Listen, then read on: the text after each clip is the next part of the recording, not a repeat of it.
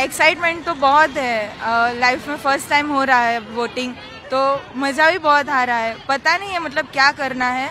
हमें स्कूल में सिखाया तो है कि कैसे वोटिंग करते हैं बट एक्सपीरियंस फ़र्स्ट टाइम लेंगे तो उसमें ज़्यादा मज़ा आएगा।